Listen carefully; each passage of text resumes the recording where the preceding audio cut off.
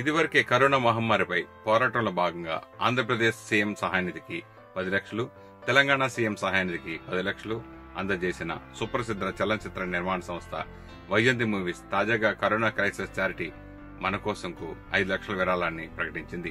Vyjayanthi movies అందజేసిన corona విరాళం మొత్తం ఇరవై ఐదు లక్షలు చేరుకుంది. చిత్ర పరిశ్రమలో వెన్నెముక అయిన దినసరి వేతనంతో పనిచేసే కార్మికులను ఆదుకోవడానికి సీసీసీకి ఐదు లక్షలు అందజేస్తున్నట్లు సోషల్ మీడియా ద్వారా వైజంతి మూవీస్ సంస్థ ప్రకటించింది.